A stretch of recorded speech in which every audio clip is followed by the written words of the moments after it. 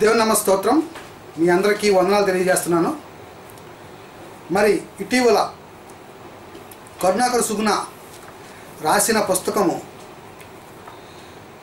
other side of Jesus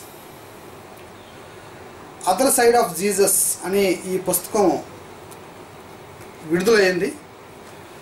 మరి ఈ పుస్తకాన్ని నేను చదవడం జరిగింది. ఈ పుస్తకంలో మరి పిల్లలైన ఒక అంశం మీద మాట్లాడదలిచాను. అదేంటంటే యేసుక్రీస్తు రాజ్యము. యేసుక్రీస్తు రాజ్యము వచ్చిందా రాలేదా? ఒకరు వస్తే ఎప్పుడు వస్తుంది? రాకపోతే రాలేదా? రెండో రాకడ విశేషాలు ఏంటి ఇలాంటి సందర్భాలని నేను ఈ పుస్తకానికి జవాబు ఇవ్వదలిచాను. మొట్టమొదటిగా సుగుణా గారు బైబిల్ని బాగా అర్థం చేసుకోవాలి. మీకు బైబిల్ బాగా అర్థం అవ్వాలంటే పరిశుద్ధాత్మ సహాయము మీకు ఉండాలి అయితే మీకు అది లేదు గనక బైబిల్ని సరిగ్గా అర్థం చేసుకోలేదు. ఈ వీడియోని ఎందుకు చేస్తున్నానంటే నా క్రైస్తవ సమాజం హేతు అడుగున ప్రతివానికి సమాధానం చెప్పాలి. ఇలాంటి పుస్తకాలు ఎన్ని వచ్చినా మనం సమాధానం చెప్పడానికి ఎల్లప్పుడూ సిద్ధముగా ఉండాలి అనే ఉద్దేశంతో ఈ వీడియో చేయడం జరుగుతుంది. మొట్టమొదటగా యేసు రాజ్యం కోసం వివరణలోకి మనం వెళ్దాం. అసలు యేసు రాజ్యము ఎలా ఉంటుందో యేసుక్రీస్తు ప్రభు వారు స్వయంగా యుహాన్స్ వార్త పద్దెనిమిదో అధ్యాయము ముప్పై ఆరు నుంచి ముప్పై ఏడు వరకు మనం చదువుతుండగా చూద్దాం. అందుకు పిలాతో అందుకు పిలాతు నీవు రాజువా? అందుకు పిలాతు నీవు రాజువా? అని ఆయనను అడుగగా. ఆయనను అడుగుగా. యేసు నీవన్నట్టు నేను రాజునే. నీవన్నట్టు నేను రాజునే. నేను రాజునే అని యేసు వారు ఒప్పుకుంటున్నారండి. యేసుక్రీస్తు ప్రభు వారట ఈ భూమి మీదకి వచ్చినప్పుడు చెప్తున్న మాట ఏంటంటే భూమి మీద ఉన్నప్పుడు చెప్తున్న మాట ఏంటంటే నేను రాజునే. ముప్పై ఆరో వచ్చిన చూద్దాం. యేసు యేసు నా రాజ్యం ఈ లోక సంబంధమైనది కాదు. నేను రాజునే అన్నాడు. అలాగ అన్నవే కాకుండా నా రాజ్యము ఈ లోక సంబంధమైనది కాదు. గాని కానీ ఈ రాజ్ ఈ నా రాజ్యము నా రాజ్యము ఈ లోక సంబంధమైనదైతే ఈ లోక సంబంధమైనదైతే నేను యూదులకు అప్పగింపబడుకున్నట్లు యూదులకు అప్పగించ అప్పగించకుండా ఉండునట్లు నా సేవకులు పోరాడుదురు గాని నా సేవకులు కత్తి కర్ర పట్టుకొని పోరాడుతారు. నా రాజ్యం ఏహ సంబంధమైనది కాదనేను అందుకే నా రాజ్యము ఇహ సంబంధమైనది కాదు. యేసుక్రీస్తు ప్రభువారట రాజటండి. అలాగే ఆయన రాజ్యము ఇహలోక సంబంధమైనది కాదు. ఇహలోక సంబంధమైన రాజ్యం ఎలా ఉంటుందంటే రాజుకు ఒక కిరీటము ఒక సింహాసనము అనేక మంది సైనికులు ఒక కోట. మరి యుద్ధాల మీద యుద్ధాలు చేయించడం రాజు పని పరిపాలన చేయడం ఇవన్నీ రాజు చేసే పని ఇహలోక సంబంధమైన రాజులు చేసే పని. అయితే ఈ రాజు ఇహలోక సంబంధమైన రాజు కాదు. ఆయన రాజ్యము ఇహలోక సంబంధమైన రా రాజ్యము కాదు. కనుక కత్తి కర్ర పట్టని రాజ్యము ఆయన రాజ్యము. ఆ రాజుకు కిరీటం ఉండదు కానీ ఇహలోక సంబంధమైన కిరీటం ఉండ ఉండదు కానీ పరలోక సంబంధమైన కిరీటంతో ఆయన ఉంటాడు. ఆయన పరలోక సంబంధమైన రాజు. ఆయన రాజ్యము పరలోక సంబంధమైనది. మనం అనుకుంటున్నట్టు రాజ్యము ఆయన రాజ్యము కాదు అని బైబిల్ కన్ఫర్మ్ చేస్తుంది. యేసు స్వయంగా ఆ మాటలు చెప్పడం జరిగింది. నీవన్నట్టు నేను రాజునే. నీవు అన్నట్టు నేను రాజునే. సత్యమును గూర్చి సాక్ష్యం సత్యము సత్యమును గూర్చి సాక్ష్యం ఇవ్వటానికి నేను వచ్చాను అంటున్నాడు చూడండి. సత్యము సత్యాన్ని చెప్పే రాజు. సత్యం కోసం సాక్ష్యం ఇవ్వటానికి వచ్చే రాజు. ఇందు ఈ- నిమిత్తమే ఇందు నిమిత్తమే ఈ లోకానికి రాజుగా వచ్చాను. సత్య సంబంధి అయిన ప్రతి వాడును సత్య సంబంధి అయిన ప్రతివాడు నా మాట వినునని నా మాట వినును. చాలండి. అనగా యేసుప్రభు వారు రాజట ఆయన రాజ్యము ఇహలోక సంబంధమైనది కాదు. ఈ విషయం శిష్యులకు కూడా అర్థం అవ్వలేదు. ఇక సుగుణ గారికి ఏం అర్థమవుతుందండి శిష్యులకు తర్వాత అర్థమైందండి ఈ విషయం ఆ విశ్లేషణలోకి మనం వెళ్దాం. ఏమండి? మొట్టమొదటగా మత్తేసు వార్త మూడవ అధ్యాయము ఒకటో వచనంలో యోహాన గారు ఒకటి ప్రకటిస్తున్నారు చూద్దాం. ఆ దినముల యందు ఆ దినముల యందు బాప్తిస్మమిచ్చు యోహాను వచ్చి బాప్తీసువిచ్చు యోహాను వచ్చి పరలోక రాజ్యము సమీపించి పరలోక రాజ్యము సమీపిస్తుంది. మారు మనసు పొందండి అని ప్రకటించాడండి. సువార్త ప్రకటన మొదలుపెట్టాడు. ఎవరు? యోహాన గారు. ఇకపోతే మత్తయి సువార్త నాలుగో అధ్యాయము పదిహేడవ వచనంలో ఇంకో మాట చూద్దామండి. అప్పటి నుండి అప్పటి నుండి యేసు యేసు పరలోక రాజ్యము సమీపించి ఉన్నది గనుక పరలోక రాజ్యము సమీపించి ఉన్నది గనుక మారు మనసు పొందుడని మారు మనసు పొందుడని చెప్పుచు ప్రకటింప మొదలు పెట్టాను చెప్పుచూ ప్రకటింప మొదలుపెట్టిన. యోహాన్ గారు ఎలాగైతే ఏ సువార్త అయితే చెప్పారో యేసుప్రభు వారు కూడా అదే సువార్తను చెబుతున్నారు. పరలోక రాజ్యము సమీపిస్తుంది అంటున్నాడండి. ఇరవై మూడవ వచనం చూద్దాం. యేసు వారి సమాజ మందిరములలో వారి సమాజ మందిరములలో బోధించుచు దేవుని రాజ్యమును దేవుని రాజ్యమును గూర్చిన సువార్తను ప్రకటించుచు సువార్తను ప్రకటించుచు అని చూసారండి? పరలోక రాజ్యం అట దానికి మరో పేరు దేవుని రాజ్యము. పరలోక రాజ్యం అన్నా దేవుడి రాజ్యం అన్నా ఒకటే. పరలోక రాజ్యానికి సంబంధించిన సువార్త లేదా దేవునికి రాజ్యానికి సంబంధించిన సువార్త ప్రకటన జరుగుతుంది. ఇది యోహాన్ యోహాన్ గారు చేశారు అది? ఇటు యేసుప్రభు వారు కూడా చేశారండి. మార్కు సువార్త ఒకటో అధ్యాయం పదిహేను వచ్చిన చూద్దాం. మార్కు కాలము సువార్త. సంపూర్ణమై ఉన్నది స- కాలము సంపూర్ణమై ఉన్నది దేవుని రాజ్యము సమీపించి ఉన్నది దేవుని రాజ్యము సమీపించి ఉన్నది మారు మనస్సు పొంది దేవుని రాజ్యం అట అక్కడ పరలోక రాజ్యము ఇక్కడ దేవుని రాజ్యం రెండు ఒకటేనండి. దానికోసం సువార్త ప్రకటన జరిగింది. ఇకపోతే మత్తే సువార్త పదమూడో అధ్యాయం పదకొండవ వచనం చూద్దాం. మత్తే సువార్త పదమూడో అధ్యాయం పదకొండవ వచనం. పరలోక రాజ్య మర్మములు ఎరుగుట. పరలోక రాజ్య మర్మములు ఎరుగుట మీకు అనుగ్రహింపబడి మీకు మీకు అనుగ్రహింపబడింది అంటున్నాడు చూడండి. ఎవరైతే యేసును నమ్ముతారో గట్టిగా విశ్వసిస్తారో వాళ్ళకి అర్థమవుతుందంట ఇది. పరలోక రాజ్య మర్మము. ఆ మర్మాన్ని ఇప్పుడు మీకు చెప్తాను బాగా వినాలి. మత్తేసు వార్త పదమూడో అధ్యాయము యాభై రెండవ విష్ యాభై రెండవ వచనం చూద్దాం ఒకసారి. ఆయన ఆయన అందువలన అందువలన పరలోక రాజ్యంలో శిష్యుడుగా చేరిన పరలోక రాజ్యములో శిష్యుడుగా చేరిన ప్రతి శాస్త్రియు ప్రతి శాస్త్రియు తన ధననిధిలో నుండి చాలండి. పరలోక రాజ్యములో శిష్యులుగా చేరాలి అంటున్నాడండి. దేవుని రాజ్యము లేక పరలోక రాజ్యములో శిష్యుడిగా చేరాలి అని ఒక పదం ఇక్కడ యేసుప్రభు వారు స్వయంగా చెబుతున్నారు.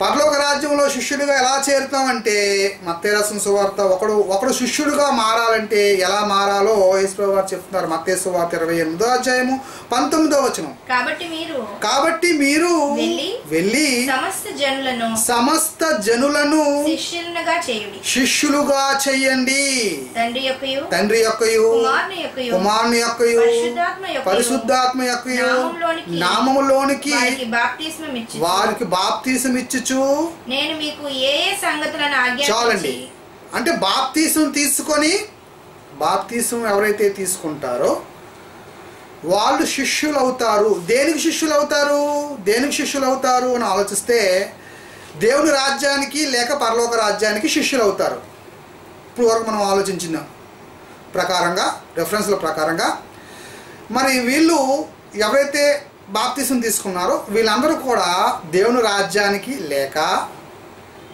పరలోక రాజ్యానికి శిష్యులుగా మారుతారు అని మనకు అర్థమవుతుంది. ఇంతకీ దేవుడి రాజ్యం ఎక్కడుంది అని మనం బైబిల్ని అడిగితే లోకాసు వార్త పదిహేడు అధ్యాయము ఇరవై ఇరవై ఒకటిలో ఏమంటున్నాడు యేసుప్రభు వారు చూద్దామండి. దేవుని రాజ్యం ఎప్పుడు వచ్చినని? దేవుడు రాజ్యము ఎప్పుడు వచ్చునని? పరిసేయులు ఆయన అడిగినప్పుడు. పరిశైలంట ఆయన అడిగారటండి. దేవుడి రాజ్యం ఎప్పుడు వస్తుంది? నువ్వు అంటున్నావు కదా ప్రకటన చేస్తున్నావు కదా సువార్త చేస్తున్నావు కదా మరి ఎప్పుడు వస్తుంది అది అని అడిగారటండి. ఆయన. దేవుని రాజ్యం ప్రత్యక్షముగా రాదు. దేవుడు రాజ్యం అట ప్రత్యక్షంగా రాదటండి. ఎందుకనగా? ఎందుకంటే ఇదిగో దేవుని రాజ్యము. ఇదిగో దేవుడు రాజ్యము. మీ మధ్యనే ఉన్నది మీ మధ్యనే ఉన్నది గనుక. ఇదిగో. ఇదిగో. ఇక్కడనని. ఎక్కడనని. ఇదిగో అక్కడనని. ఇదిగో అక్కడనని. చెప్ప వీలు పడదని చెప్ప వీలు పడదని వారికి వారికి. ఉత్తరం ఇచ్చాడు యేసుప్రభు వారు అనగా అనగా పరోక్షంగా రాదు ఇది ఇది ఎక్కడ ఉందంటే మీ మధ్య ఉంది మీ మధ్య ఉంది. అంటే దేవుడి రాజ్యం ఎక్కడ ఉంటుంది అని మనం ఆలోచిస్తే మన మధ్య ఉంది. అయితే ఈ దేవుడి రాజ్యం ఎలాంటిదో చూద్దామండి. లోకాస్తు వార్త ఒకటో అధ్యాయము ముప్పై మూడో వచనంలో ఒక మంచి మాట చూద్దాం. ఆయన రాజ్యము ఆయన రాజ్యము యేసుక్రీస్తు కోసం చెప్పుతున్న మాట. ఆయన రాజ్యం అట అంతము లేనిదై ఉంటుందట. అంతం ఉండదట దానికి. ఆయన రాజ్యము అంతము లేనిదై ఉంటుంది. అది ఎక్కడ ఉంటుంది అంటే మన మధ్య ఉంటుందట. మన మధ్య ఉంటుందట. ఆయన రాజ్యము అంతము లేనిదై ఉంటుందటండి. అది ఎలా ప్రారంభించాడో మత్తేసు వార్త పదహారో అధ్యాయము. మత్తేసు సువార్త పదహారో అధ్యాయము పద్దెనిమిది పంతొమ్మిది వచనాలు చూద్దామండి. మరియు నీవు మరియు నీవు పేతురవు. ఈ బండ మీద నా సంఘమును కట్టుదును. ఈ బండ మీద నా సంగమును కట్టుదును. పాతాళ లోకపు ద్వారంలో పాతాళ లోకపు ద్వారములు దాని ఎదుట దాని నిలవనే ఎదుట నిలవనేరదు. నేను నీతో చెప్తున్నాను నీతో చెప్పుచున్నాను. పరలోక రాజ్యం యొక్క తాళపు చెవిలో పరలోక రాజ్యము యొక్క తాళపు చెవులు నీకు ఇచ్చేదను నీకిస్తాను. నీవు నీవు భూలోకమందు భూలోకమందు దేని బంధించుదువో? దేన్ని బంధిస్తావో? అది పరలోకమందును అది బంధింపబడు పరలోకమందు బంధింపబడును. భూలోకమందు భూలోకమందు దేని విప్పుదువో? దేన్ని విప్పుదువో? అది పరలోకమందును అది విప్పబడును. పరలోకమందు విప్పబడును. అంటే. అంటే సంఘము ఉన్నది. ఆ సంఘము చాలా శక్తి గలది అని బైబిల్ ఇక్కడ సెలవిస్తుందండి. బైబిల్ ఇక్కడ సెలవిస్తుంది. బండ మీద పేతురు అనే నీ మీద నేను నా సంఘాన్ని స్థాపిస్తాను. నా సంఘాన్ని స్థాపిస్తాను. దానికి ఎంత బలం ఉంటుందంటే ఎంత శక్తి ఉంటుందంటే పరలోక రాజ్యానికి వెళ్ళటానికి తాళపు చెవులు ఇస్తాను. అలాగే పాతాల లోకం దాని ఎదుట నిలబడదు అని. నేను కొన్ని రిఫరెన్స్లు మీకు చెప్తాను జాగ్రత్తగా అర్థం చేసుకోవాలి. ఎఫ్ఎస్సి లెసన్ పత్రిక ఒకటో అధ్యాయము ఇరవై రెండు ఇరవై మూడులో ఒక మాట ఉంటుందండి. సంఘమునకు యేసుక్రీస్తు శిరస్సట. ఆయన పాదముల కింద మరి సర్వాధికారాలు ఇచ్చాడు అని దేవుడు ఇచ్చాడు అని ఇక్కడ రాయబడిందండి. అనగా సంఘానికి శిరస్సు యేసుక్రీస్తు ప్రభువారు ఆయన పాదాల కింద అనగా సంఘము కింద సర్వాధికారము ఉన్నది అని బైబిల్ సెలవిస్తుంది. అలాగే ఎఫ్ఎస్సి పత్రిక మూడు ఎనిమిదిలో తన నానా విధములైన జ్ఞానము సంఘము ద్వారా సంఘము ద్వారా దేవదతులకు కూడా తెలియజేయబడుతుంది అని ఎఫ్ఎస్సి పత్రిక మూడు ఎనిమిది ద్వారా మనకు అర్థమవుతుందండి. అనగా అనగా సంఘం అనేది చాలా శక్తి గలది. క్రీస్తు సంఘం అనేది చాలా శక్తి గలది అని మనకి అర్థమవుతుందండి. ఈ సంఘమే ఈ సంఘమే దేవుడు రాజ్యము అని బైబిల్ సెలవిస్తుంది. అది మన మధ్య ఉన్నది అని బైబిల్ సెలవిస్తుందండి. ఇంకా కొన్ని రిఫరెన్స్లు చూద్దాం. కొలసీల్ రాసిన పత్రిక ఒకటో అధ్యాయము పదమూడవ వచనములో పౌలు గారు ఏమంటున్నారో చూద్దామండి. ఆయన మనలను ఆయన మనలను అంధకార సంబంధమైన అధికారంలో నుండి అంధకార సంబంధమైన అధికారములో నుండి విడుదల చేసి విడుదల చేసి తాను ప్రేమించిన తాను ప్రేమించిన తన కుమారుని యొక్క తన కుమారుని యొక్క రాజ్య నివాసులుగా చేశాను కుమారుని యొక్క రాజ్య నివాసులుగా చేసెను అంటే అర్థం ఏంటి? ఏ టెన్స్ వాడాడండి? ఆల్రెడీ రాజ్య నివాసులుగా చేశాడు. సంఘములో సభ్యులందరూ రాజ్య నివాసులుగా ఉన్నారు. రాజ్య సభ్యత్వంలో ఉన్నారు. పరలోక రాజ్య సభ్యత్వంలో ఉన్నారు. దేవుని రాజ్యంలో ఉన్నారు అని కొలసి ఒకటి పదమూడు మనకు అర్థమవుతుందండి. ప్రకటన గ్రంథము ఒకటో అధ్యాయము ఆరో వచనం చూద్దామండి. ప్రకటన గ్రంథం ఒకటో అధ్యాయము ఆరో వచనము. మనలను ప్రేమించుచు మనల్ని ప్రేమించుచు తన రక్తం వలన తన రక్తము వలన పాపముల నుండి మనలను ఆ విడిపించిన వానికి వానికి మహిమయు ప్రభావమును యుగయుగములు కలుగునుగాక. ఆ ఆమె ఆమెన్. ఆయన మనలను ఆయన మనలను తన తండ్రి యగు దేవునికి తన తండ్రి యగు దేవునికి ఒక రాజ్యముగాను ఒక రాజ్యముగాను యాజకులుగాను యాజకులుగాను చేసెను. చేశాడట ఏమండి? రాజ్యముగాను యాజకులుగాను క్రైస్తవుల్ని దేవుడు చేశాడటండి. రాజ్యముగా చేశాడట. రాజ్యముగా చేశాడట. యాజకులుగా చేశాడటండి. తొమ్మిదో వచనం చూద్దామండి. తొమ్మిదో వచనం. సహోదరులను మీ సహోదరులను యేసును బట్టి కలుగు శ్రమలోను యేసును బట్టి కలుగు శ్రమలోను రాజ్యములోను సహనములోను సహలము సహనములోను పాలివాడినైనా పాలివాడినైనా యోహానను యోహాను యోహాను ఎందులో రాజ్యంలో శ్రమలోను యేసు యొక్క శ్రమలోను పాలివాడయ్యాడట రాజ్యములో పాలివాడయ్యాడట ఇంకా సహనములో పాలివాడయ్యాడు అని చెప్తుందండి బైబిల్ ఇక్కడ. ఇంతకీ రక్తం ఇచ్చి కొన్నవారు ఏమవుతారో చెప్తున్నాడు. ఐదో అధ్యాయం పదిలో చూద్దామండి. ప్రకటన గ్రంథం ఐదో అధ్యాయం పదిలో చూద్దామండి. రాజ్యం వచ్చిందో లేదో చూద్దాం. ఆ, పెద్దలు ఆ పెద్దలు నీవు ఆ గ్రంథంను తీసుకొని దాని ముద్రలను విపుటకు ఇప్పుటకు. ఇప్పుటకు యోగ్యుడు. నీవు నీవు వధింపబడిన వాడవై వధింపబడిన వాడివై నీ రక్తమిచ్చి నీ రక్తమిచ్చి ప్రతి వంశంలోను ప్రతి వంశంలోను ఆయా భాషలు మాట్లాడు ఆయా భాషలు మాట్లాడే వారిలోను ప్రతి ప్రజలోను, ప్రతి జనములోను ప్రతి జనములోను దేవుని కొరకు దేవుని కొరకు మనుషులను కొని మనుషులను కొని మా దేవునికి మా దేవునికి వారిని ఒక రాజ్యముగాను వారిని ఒక రాజ్యముగాను యాజకులను గాను యాజకులుగాను చేసిదివి చేసితివి అంటే అర్థం ఏంటి? అనగా రాజ్యంలోకి తీసుకున్నాడు మమ్మల్ని అందరినీ. క్రైస్తవుడు అందరూ క్రైస్తవులు అందరూ కూడా యేసుక్రీస్తు రాజ్యంలో ఉన్నారు అని మనకి బైబిల్ కన్ఫర్మేషన్ క్లియర్గా ఇస్తుందండి. ప్రకటన గ్రంథం పదకొండో అధ్యాయము పదిహేను వచనం చూద్దాం. ప్రకటన గ్రంథం పదకొండో అధ్యాయము పదిహేను వచనం. ఏడవ దూత బోర ఊదినప్పుడు ఏడవ దూత బోర పరలోకంలో గొప్ప శబ్దము పుట్టెను ఆ శబ్దంలో ఆ శబ్దములు ఈ లోక రాజ్యము ఈ లోక రాజ్యము మన ప్రభు రాజ్యమును మన ప్రభువు రాజ్యమును ఆయన క్రీస్తు రాజ్యం ఆయన ఆయన. ఆయన క్రీస్తు రాజ్యం ఆయనని ఆయన ఆయన ఆయను. అంటే అర్థం ఏంటండి? దీని అర్థం ఏంటి? భూలోకంలో రాజ్యం ఒకటి ఉన్నది. ఆ రాజ్యము దేవుడి రాజ్యం అయ్యింది దేవుడు రాజ్యంగా మారింది దేవుడి రాజ్యంగా మారింది అంటే భూమి మీదే దేవుడి రాజ్యం ఉన్నది. ఒక విషయం క్లియర్గా చెప్తాను బాగా వినాలండి. రెండో రాకడకి క్రీస్తు రాజ్యానికి చాలా వ్యత్యాసం ఉందండి. చాలామంది క్రైస్తవుల్లో కూడా దేవుడి రాజ్యం రెండో రాకడలో వస్తుంది అని అనుకుంటున్నారండి. కాదు దేవుడి రాజ్యము మొదటి రాకడలోనే ఈ భూమి మీద వచ్చింది.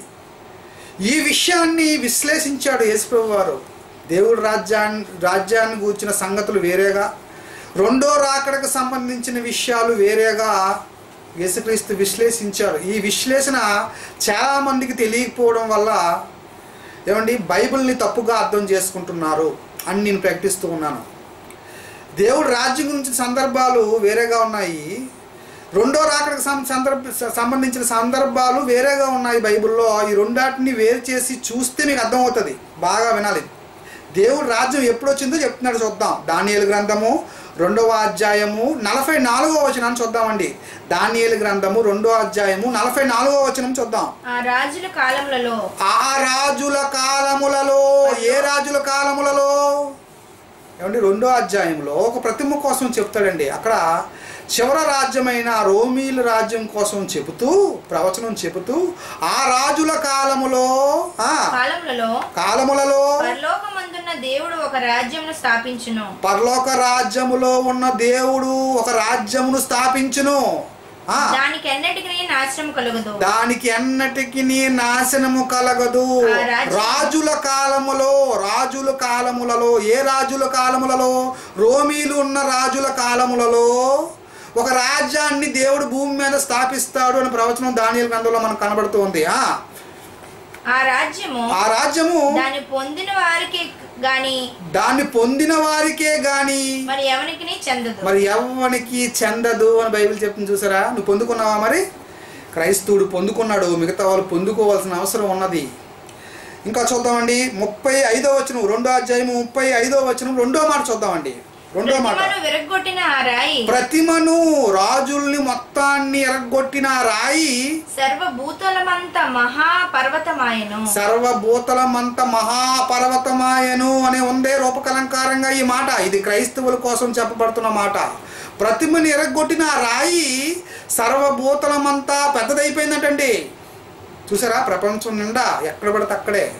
ఎక్కువ శాతం ఎవరున్నారంటే క్రైస్తవులే ఉన్నారు అందుకే. ఎందుకంటే ఈ ప్రవచనం నెరవేర్పు. ఏ ప్రవచనం నెరవేర్పు అండి సర్వభూతలమంత అయిపోయిందంట రాయి. ప్రతిమని విరగొట్టిన రాయి సర్వభూతలమంతన భూతలమంత అయిందంటండి. పెద్దదైపోయింది అంటున్నాడు.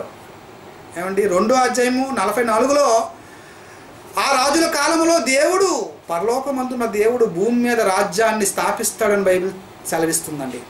మీకు అర్థమవుతుందా? ఈ రాజ్యాన్ని రెండో రాకల్లో ఏం చేస్తాడో యేసుప్రభు వారు ఒక మంచి మాట చూద్దాం. మీకు అర్థం అవడం కోసం చెప్తున్నాను.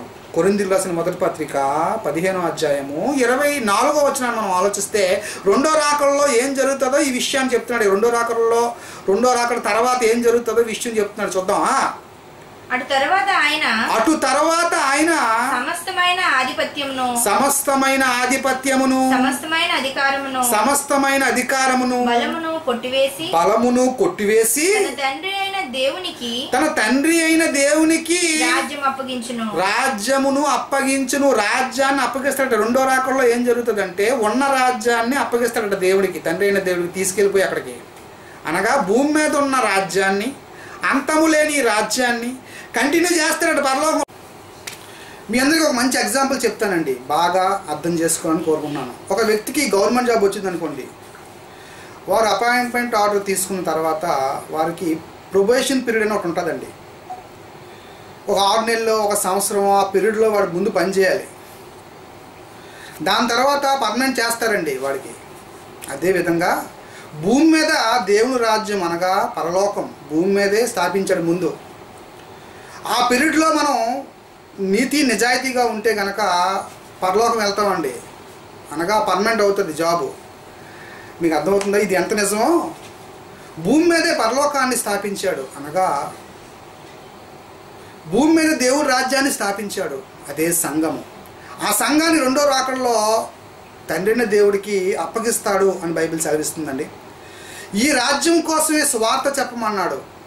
మతే సువార్త ఇరవై నాలుగో అధ్యాయము పద్నాలుగో వచనాన్ని చూద్దామండి. మరియు మరియు ఈ రాజ్య సువార్త ఈ రాజ్య సువార్త సకల జనములకు సకల జనములకు సాక్షార్థమై సాక్షార్థమై లోకమందంతటను లోకమందంతటా ప్రకటింపబడును. ప్రకటింపబడును. అటు తరువాత అటు తర్వాత అంతము వచ్చును.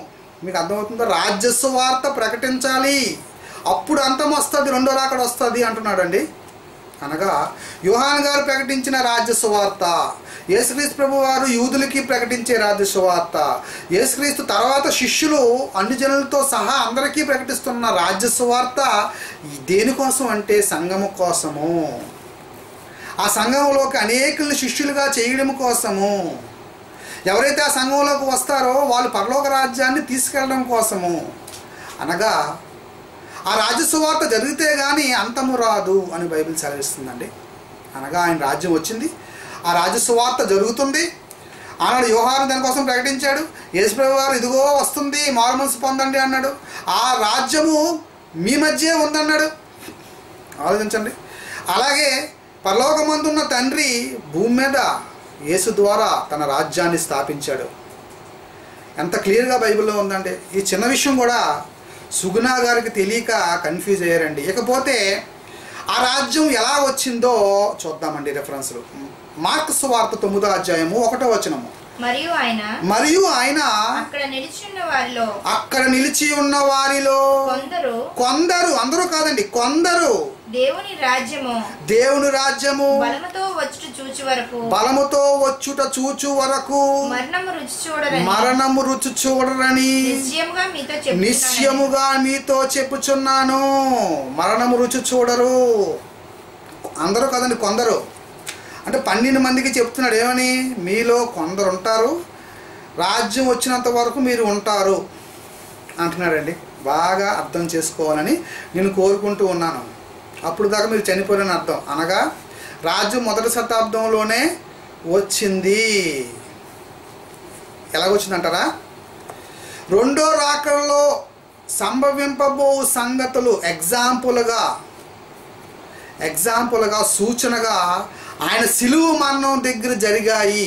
ఎగ్జాంపుల్గా రెండో రాకల్లో సమాధులు తెరవబడి సమాధులకు తెరవబడి అనేకులు సమాధుల్లో నుంచి బయటకు వస్తారు రెండో రాకల్లో యేసుప్రభు వారు పిలగానే మరి నీతిమంతులు పరలోక రాజ్యానికి అనీతిమంతులు పాతాల లోకానికి వెళ్ళిపోతారు రెండో రా రెండో రాకల్లో ఇలాంటి సందర్భము సేమ్ టు సేమ్ సిచ్యువేషను శాంపుల్గా క్రీస్తు సిలువు మరణం దగ్గర ఎలా జరిగిందో చూద్దామండి. ఆయన రాజ్యం అక్కడే బలంగా వచ్చింది అంటానికి ఒక మంచి నిదర్శనం అండి నిదర్శనం అండి. మతేశ్వాత ఇరవై ఏడవ అధ్యాయము యాభై ఒకటి నుంచి యాభై మూడు వరకు మనం ఆలోచిస్తే అప్పుడు బలంగా రాజ్యం ఎలా స్థాపింపబడిందో మీకు ప్రకటన చేస్తున్నాను. చూద్దాం. అప్పుడు అప్పుడు దేవాలయపు తెర బిగ్గరగా కేక వేసి ప్రాణం విడిచాడండి యేసుప్రభు వారు. యేసుప్రభు వారు బిగ్గరగా కేక వేసి ప్రాణం విడిచాడు. ప్రాణం విడచగానే శిరువు మరణం జరిగిన వెంటనే ఏం జరిగిందో చూద్దాం. అప్పుడు దేవాలయపు తెర దేవాలయపు తెర పైనుండి క్రింద వరకు కింద నుండి పైకి కాదండి పైనుండి కిందకి ఆ రెండుగా చినిగెను. రెండుగా చినిగెను రెండుగా చినిగెను అనగా ప్రవేశం అని అందరికీ ప్రవేశం అని. అనగా అన్ని జనులకు కూడా ప్రవేశం. ఒక్క యాజకుడికి ఆనాడు ప్రవేశం. కానీ ఇప్పుడు అన్ని జనులకు కూడా ప్రవేశం అండి బలంగా రాజ్యం రావడం అంటే ఇదే మరి. ఏమండి? పైనుంచి కింద వరకు తెర చినిగెను. భూమి వణికింది. బండలు బద్దలయ్యాయి. సమాధులు తెరవబడెను. సమాధులు తెరవ తెరవబడ్డాయి. నిద్రించిన అనేకులు. నిద్రించిన అనేకులు. అనేక మంది పరిశుద్ధుల శరీరములో. అనేకమైన పరిశుద్ధుల శరీరములు లేచాయి. వారు వారు సమాధుల్లో నుండి సమాధుల్లో నుండి బయటికి వచ్చి బయటికి వచ్చి ఆయన లేచిన తరువాత ఆయన లేచిన తర్వాత పరిశుద్ధ పట్టణంలో పరిశుద్ధ పట్నములో ప్రవేశించి ప్రవేశించి అనేకులకు అగపడిరి. అనేకులకు అగపడ్డారు. అనగా రెండో రాకడలో జరగవలసిన సంగతులు మొదటి రాకడలోనే సిలువు మరణం తర్వాత శాంపుల్గా ఎగ్జాంపుల్గా చూపిస్తున్నాడు ఈ ప్రపంచానికి. ఎగ్జాంపుల్గా చూపిస్తున్నాడు. ఎందుకంటే రాజ్యం ఇక్కడే స్థాపింపబడింది. బలంగా రాజ్యము ఇక్కడే వచ్చినది. ఒక మంచి రెఫరెన్స్ చూపిస్తాను. లోకాసు వార్త ఇరవై ఒకటో అధ్యాయము ఇరవై నాలుగో వచనంలో ఒక మంచి మాట ఉందండి. రెండు కాలాల కోసం చెప్పబడుతుంది. రెండు కాలాలు. ఒక కాలం ఏమో యూదుల కాలము రెండవ కాలము అన్ని జనులు కాలము. బాగా వినాలి. ఇరవై ఒకటి ఇరవై నాలుగు. ఆ. వారు వారు కత్తివాత కూలుదురు. కత్తివాత కూలుదురు. చెరపట్టబడిన వారై చెరపట్టిబడిన వారై సమస్తమైన అన్ని జనుల మధ్యకు సమస్తమైన అన్ని జనుల మధ్యకు పోవుదురు. అన్ని జనముల కాలములో అన్య జనుల అన్య జనుల కాలములు సంపూర్ణము అగు వరకు సంపూర్ణము అగు వరకు ఎరుషులేము ఎరుషులేము అన్య జనముల చేత త్రొక్కబడుదురు. అన్య జనుల చేత త్రొక్కబడుదురు. ఇది యేసు ప్రభు వారు చెబుతున్న సూచన బాగా వినాలి. అన్ని జనులకు ఒక కాలం ఇచ్చాడు. ఫస్ట్ యూదులకు ఒక కాలం ఇచ్చాడండి బాగా వినాలి. యూదులకు ఒక కాలం ఇచ్చాడు. ఆ కాలంలో యేసుప్రభు వారు వచ్చారు సువార్తను ప్రకటించారు వాక్యాన్ని ప్రకటించారు వాళ్ళు అంగీకరించలేదు. కనుక వాళ్ళకి తీర్పు జరిగింది. వాళ్ళకు తీర్పు జరిగింది. వాళ్ళ కాలాన్ని ముగించేశాడు. యూదుల కాలం అయిపోయింది. సిలువు మరణం అయిపోయిన తర్వాత అన్ని జనుల కాలం మొదలుపెట్టాడు. ఈ కాలం రెండో రాకడ వరకు ఉంటుంది. రెండో రాకడ వరకు ఉంటుందండి. అన్ని జనులకు అవకాశం ఇది. మొదట యూదులకు అవకాశం. చూద్దాం ఇంకో రెఫరెన్స్ చూద్దాం యోహాన్స్ వార్త పన్నెండో అధ్యాయము ముప్పై ఒకటో వచనము. ముప్పై ఒకటో వచనము. ఇప్పుడు ఇప్పుడు ఈ లోకమునకు తీర్పు జరుగుచున్నది. యేసుప్రభు చూసారా? ఈ లోకమునకు తీర్పు మొదలు పెట్టాడంటే మొదటి శతాబ్దంలోనే. యూదులకు యూదుల మధ్యలో ఉండి చెప్తున్నాడు ఈ మాట. అనగా యూదుల కాలమును సమాప్తి చేశాడు. అందుకే ఇసుక ఇసుక రేణువులు అని యూ అని ఇజ్రాయెల్ ప్రజలకు చెబుతూ మీరు ఇసుక రేణువులు అని ఇజ్రాయెల్ ప్రజలతో చెబుతూ పౌలు గారు ఒక పత్రికలో ఏమని రాశారంటే శాసమే రక్షింపబడును శాసమే రక్షింపబడును మిగతా వాళ్ళు రక్షింపబడరు అని అంటు అంటున్నాడండి దేవుడు యూదులతో యూదుల గురించి ప్రవచనం. యూదుల గురించి ప్రవచనం ఏంటంటే శేషమే రక్షింపబడుతుంది. అనగా మొదటి శతాబ్దంలోనే యూదులు కాలాన్ని పూర్తి చేసి అన్నిజనుల కాలంలోకి అందరినీ తీసుకొచ్చాడు. అనగా అన్నిజనులకు కూడా ఒక టైం ఇచ్చాడు. అది రెండో రాకడతో క్లోజ్ అవుతుంది. మొదటి రాకడలోనే ఆయన రాజ్యాన్ని స్థాపించి బలంగా ఆలయపు తెర పైనుంచి కిందకి తిరిగింది. అనేకమైన మరి బాడీస్ అనగా శవాలు బయటకు వచ్చాయి. దేహాలతో బయటకు వచ్చారు అనేకులు బయటకు వచ్చారు అగప అనేకులకు అగపడ్డారు అని బైబిల్ చెప్తుంది. అనగా ఆ టైంలోనే దేవుడు రాజ్యము స్థాపింపబడింది అని మనకి క్లియర్గా అర్థమవుతూ ఉంది. మరియు ఈ పుస్తకంలో ఒక కీలకమైన విషయం చెప్పి ఈ ప్రసంగాన్ని నేను ముగిస్తానండి. అదేంటంటే ఈ అంశం మీద పౌలు గారు కూడా చక్కగా పౌలు గారు కూడా చక్కగా ఓకే చెప్పారండి అని ఆ పుస్తకంలో రాశారండి ఆయన. ఒకటో తెస్తానికి రాసిన పత్రిక నాలుగో అధ్యాయము పదిహేడవ వచనాన్ని చూద్దామండి. ఆ మీదట ఆ మీదట సజీవులమై సజీవులమై నిలిచియుండు మనము నిలిచియుండు మనము వారితో కూడా వారితో కూడా ఏకముగా ప్రభువును ఏకము ఏకముగా ప్రభువును ఎదుర్కొనుటకు ఆ సజీవులుగా నేను ఉంటాను అన్నట్టుగా పౌలు గారు చెప్పారు కదండి. సజీ రెండో రాకడ వరకు సజీవుడుగా నేను ఉంటానని పౌలు గారు చెప్పారు కదండి. మరి దీన్ని బట్టి మనం ఆలోచిస్తే పౌల్ గారు ఇప్పుడు లేరు కదండి చనిపోయారు కదండి. మరి మరి రెండో రాకడ గతించినట్టే కదండి అని మరి ఆయన అమాయకంగా రాశారండి పుస్తకంలో. కానీ ఒక మాట బాగా నేను చెప్పేది వినండి. మతేశ్వత ఇరవై నాలుగు ముప్పై ఆరులో ఒక మంచి మాట ఉంది చూద్దామండి. మతేశ్వత ఇరవై నాలుగో అధ్యాయము ముప్పై ఆరులో ఒక మంచి మాట ఉందండి. అయితే ఆ దినమును గూర్చి ఆ దినమును గూర్చి ఆ గడియను గూర్చి తండ్రి మాత్రమే తండ్రి మాత్రమే ఎరుగును గాని ఎరుగును గాని ఏ మనుషుడైనను ఏ మనుషుడైనను పరలోకమందుల దూతలైన దూతలైనను కుమారుడైనను కుమారుడైనను ఎరగుడు. రెండో రాకడ కోసం యేసుక్రీస్తుకు కూడా తెలియదట దూతలకు కూడా తెలియదట మనుషులకు కూడా తెలియదటండి రెండో రాకడ కోసం. ఇది యేసుప్రభు వారు స్వయంగా చెప్తున్న మాట. రెండో రాకడ కోసం శిష్యులు అందరూ ఎదురు చూశారండి. ఎదురు చూశారు. ఎదురు చూశారు కనుక పౌలు గారి ఈ మాట అక్కడ అంటున్నారండి. ఆయన కూడా ఎదురు చూశాడు కనుక ఒకవేళ ఎప్పుడు వస్తాడో తెలీదు. ఎవరికి తెలియదు కదండి ఎప్పుడు వస్తాడో. ఏ క్షణమైనా రావచ్చు ఆయన. రెండో రకాలు జరగవచ్చు. కనుక మొదటి శతాబ్దంలోనే శిష్యులు అందరూ ఎదురు చూశారు. వస్తారు వస్తాడు వస్తాడని. ఎదురు చూశాడు కనుక పౌలు గారు ఇక్కడ చెప్తున్నారు ఏమని? సజీవులుగా మనం ఉంటాము ఆయన వస్తాడు వచ్చినప్పుడు మనం ఎలా వెళ్తామో చెప్తున్నాడు ఎక్స్ప్లెనేషన్ ఇస్తున్నాడు. మీకు అర్థమైందండి? ఇప్పటికీ మేము ఎక్స్ప్లెనేషన్ ఇస్తాం. ఇప్పుడు రావచ్చు ఆయన రేపు రావచ్చు ఎల్లుండి కూడా వచ్చేయచ్చు. మనం మాకు తెలియదు ఎప్పుడు వస్తాడు ఆయన. కానీ మేము సాక్ష్యం ఇస్తాం. ఏమని సాక్ష్యం ఇస్తాం? ఇదిగో మేము సజీవులుగా ఉంటాం అప్పుడు. ఇలాగా పరలోకం నుంచి ఆయన వస్తాడు. వాళ్ళు కూడా తీసుకొస్తాడు. చ- ఇంతవరకు చనిపోయిన వాళ్ళు కూడా తీసుకొస్తాడు. తీసుకొచ్చినప్పుడు మేము వాళ్ళతో కలిసి మేము పైకి వెళ్తామని అంటామండి. అంటే ఇప్పుడే వచ్చినట్ట? యేసుప్రభు వారు వచ్చి తీసుకెళ్ళిపోయినట్ట? కాదు కాదండి. మేము చనిపోయిన తర్వాత ఎప్పుడైనా రావచ్చు లేకపోతే మేము ఉన్నప్పుడే రావచ్చు ఆయన మీకు అర్థమవుతుందా? మరి దీనికి ఒక మంచి ఆన్సర్ మీకు చెప్తాను బాగా ఆలోచించండి. లోకాసు వార్త లోకాసు వార్త పదిహేడో అధ్యాయము ఇరవై రెండులో శిష్యులు రెండో రాకడ కోసం అడుగుతున్నప్పుడు యేసుప్రభు వారు చెప్తున్న మాట. మరియు ఆయన మరియు ఆయన తన శిష్యులతో ఇట్లా నేను. తన శిష్యులతో ఇట్లా నేను. మనుష్య కుమారుని దినములలో మనుష్య కుమారుని దినములలో ఒక దినము చూడవలనని. ఒక దినము చూడవలనని మీరు కోరు దినములు వచ్చును గాని. మీరు కోరి దినములు వచ్చును గాని మీరు మీరు ఆ దినమును చూడరు. ఆ దినమును చూడరు అన్నాడు చూడండి. అంటే చా చాలా మంది శిష్యులు కోరుకున్నారు. ఆ రెండో రాకడ వస్తే బాగున్ను ఆ రెండో మేము కూడా చూడాలి అనుకున్నారండి. అలాగే పౌలు గారు అనుకున్నారు. శిష్యులు అనుకున్నారు. యేసుప్రభు వారు అంటున్నారు అది చూడవాలని మీరు అనుకుంటారు. అందరికీ కోరుకుంటుంది. కానీ మీరు అది చూడరు అని బైబిల్ చెప్తుందండి. అనగా దీన్ని బట్టి మనకి ఏదర్థమవుతుంది ఎంత క్లారిటీగా ఉందండి బైబిల్లో? ఇంకో విషయం చెప్పి నేను ముగిస్తానండి.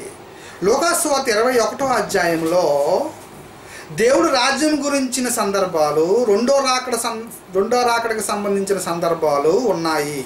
అందులో కొన్ని జరిగాయి కొన్ని ఇంకా జరగలేదు. ఎగ్జాంపుల్ ఏంటంటే దేవాలయం. దేవాలయంలో రాతి మీద రాతి లేకుండా పోతుంది అని యేసుప్రభు వారు చెప్పారండి. ఇది జరిగిందా జరగలేదని హిస్టారికల్గా చూస్తేనండి న్యూరో కాలంలో ఆలయం పడగొట్టాడు న్యూరో న్యూరో అనే రాజు ఆలయాన్ని ఎరుశలేములో ఉన్న ఆలయాన్ని పడగొట్టాడు. బంగాళ దేవాలయాన్ని పడగొట్టాడు. అందు మీద రాతి మీద రాతి లేకుండా మొత్తం బంగారాన్ని కరిగించేశాడు కాల్చేశాడు. అనగా యేసుక్రీస్తు మాట నెరవేరిందా? అక్కడ నెరవేరింది. ఇంకా కొన్ని నెరవేర్చవలసి ఉన్నవి కొన్ని నెరవేరిపోయాయి అన్నట్టుగా ఈ ఆ అధ్యాయం అంతా మనకు కనబడుతూ ఉంటుందండి. కనుక ఈ టాపిక్ బాగా మీరు చూసిన తర్వాత ఒక నిర్ణయానికి మీరు రావాలి. రాజ్యానికి సంబంధించిన స- సందర్భాలు వేరుగా ఉన్నాయి. రెండో రాకడికి సంబంధించిన సందర్భాలు వేరుగా ఉన్నాయి. రాజ్యం మొదటి శతాబ్దంలోనే స్థాపింపబడింది. రెండో రాకడ ఇంకా జరగవలసి ఉన్నది. ఇది మొట్టమొదటగా క్లియర్గా మీకు అర్థమవుతే కానీ ముందు ముందుకి నేను చెప్పబోయే పాఠాలు అర్థమవు కనుక ముందు ఈ పాఠాన్ని బాగా అందరూ అర్థం చేసుకుంటారని ఆలోచిస్తారని మరి దేవునికే మిమ్మల్ని అప్పగిస్తూ ఉన్నాను. పరిశుద్ధాత్మతో దీన్ని బాగా ఆలోచించి ప్రతి వారికి జవాబు చెప్పాలి. అందుకే మూర్ఖులకి నోరు ముయ్యించుట దేవుని చిత్తం అని బైబిల్ చెప్తుందండి. మూర్ఖుల నోరు ముయ్యించుట దేవుని చిత్తం అని బైబిల్ చెప్తుంది. మరి దేవుని చిత్తాన్ని మనం నెరవేర్చాలి. ఎలాగో తెలుసా? ఎవరైతే ప్రశ్నలు వేస్తున్నారో వాళ్ళకి జవాబు చెప్పి. ఈ చిన్న వాక్యం దేవుడు తన వినుకుడిలో దీవించిన గాక ఆమెన్.